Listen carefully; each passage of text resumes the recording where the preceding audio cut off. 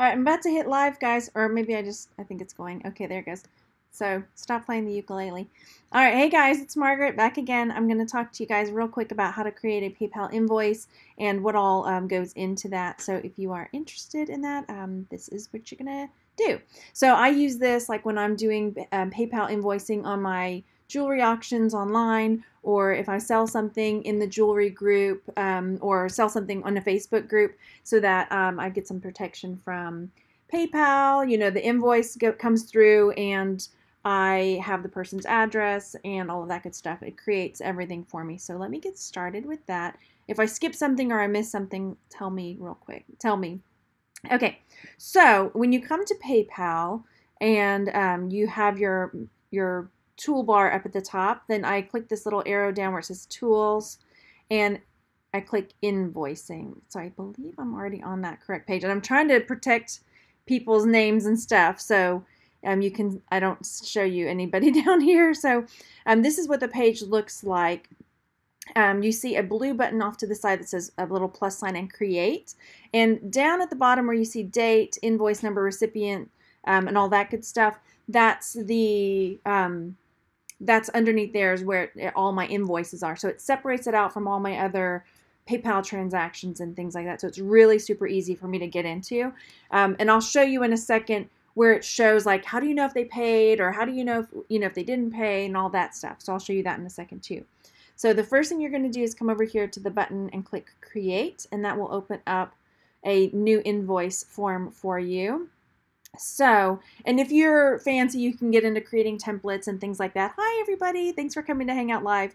Um, let me scooch you this over a little bit. I know I'm taking up a big bunch of the space here. Um, so, and you even have the opportunity to, and of course, here I am. Um, hang on, I'll get back to that in a second. So, um, you can enter your own business information and all that stuff. So, down here, I don't um, do a whole lot with this about frequency because normally the ones I send are one-offs. I guess if you had something that was recurring every month, you could change that on there. Um, so here, your bill to address, that's where you would enter in the person's email address that um, is buying from you. And what I normally do is I have them either PM me, message me, email me to get that. And when I do auctions, or I do um, a sale online, like in, a, in the Facebook group, make sure you find out where the person lives because I have been guilty. I forget where, you know, even if they bought from me before, I will forget that they are in the UK or in Australia and I'll just set it up with US shipping and then I have to come back and say, oh my gosh, I'm so sorry, I forgot you were in the UK. I need to add on, um, you know, however much more to the invoice or create a new invoice just for the difference in, in pretty much everybody's understanding about that. Um, so there's that bill to address there. And then down here, item description. Um, I normally I just put auction wins and shipping, but I'm going to start because I, I end up having to go back and forth to my notes. I'm going to start actually itemizing it a little bit better um, here. And then the price, and then I my price includes the tax already, um, and then the amount there. Now, when you come down here, it'll do all this, do that. I just include my shipping in the price.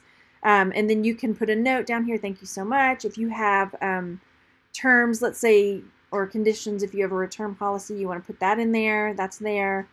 Um, and then if you need to attach any files or pictures or things like that, there's that. And then you can preview it, and then you can send or you can save as draft. Um, and then back, back, back up at the top, let me scooch you this over so you can see. Um, there's also a preview. There's a send button. Now, I've done this a couple times.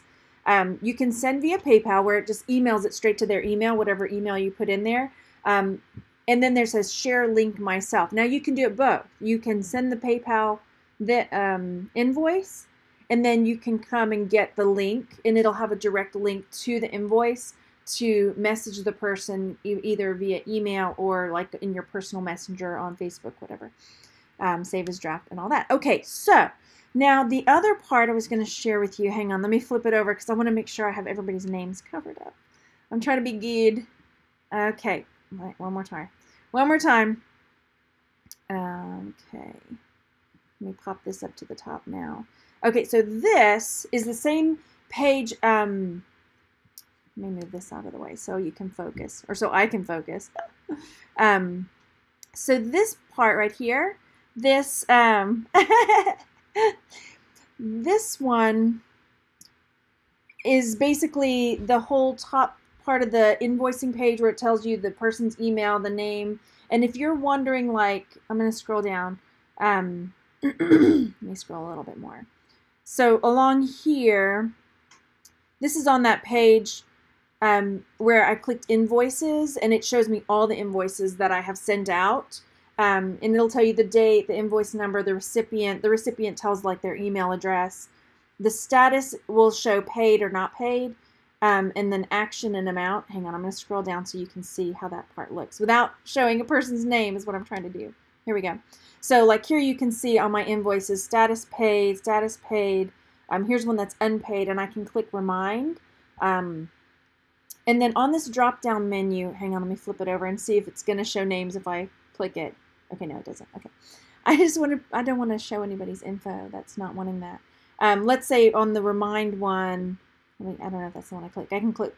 So here again, if you're like, oh, I forgot to share the link, there's the link. You can do share link. You can print it. You can copy it um, if you need.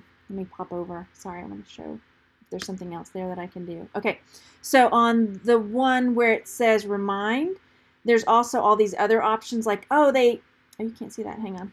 Let me scroll it down. Um, like, oh, you know, oh, I need to cancel this. Or, oh, she paid me a different way. She gave me some cash at the garage sale the other day. I'll just record payment, whatever. Um, etc., etc. Okay, so now the next thing that I really like about this, oh, I forgot to pull this up, is that the the shipping part because once the person pays, I'm going to see if I can open one of my paid invoices and show you. I meant to pull that up, but I didn't. There at the top of it, um, let me click my unpaid one. First of all, don't don't ship something out if they haven't paid yet. Okay. Um, next, let me see. Here we go. Ah, it's gonna show the person's name. Maybe I can scroll. No. How am I gonna do this? I want to show you. There's like a little I'm to totally squish it. So you're probably not even to know where on the page it is. There. Okay. Let's see if I can do this. Um, uh, what have I done? Let me hide this one down. Boom. Boom. Boom. Nope, I hit the wrong button. Hang on.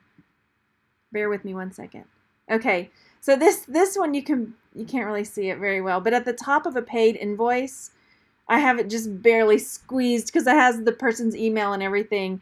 Um, at the top of this page, let me close that one out so you don't need that anymore. Yes, I want to close that.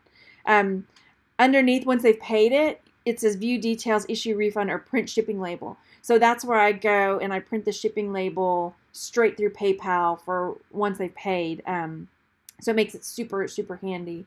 And then it, there is another link on PayPal it's oh, it's son of a gun to find. I'm not even gonna lie. So I've actually saved it to my bookmarks bar. Um, so hang on, I have that on the wrong thing. Of course I did. Did I? Did I open the wrong one? Yes, I did. Okay. Um, you can see it up on my bookmarks bar up here next to my chore monster for my kids. It says uh, PayPal shipping label, and when you go looking for it in PayPal, it's almost you I can never find it. So let's say somebody just buys something from me from a video, and I don't end up doing a invoice through PayPal, or I don't know for whatever reason. Every now and then, or let's say I just want to send something to somebody. Let's say I don't want to charge Cindy or Mary or whoever.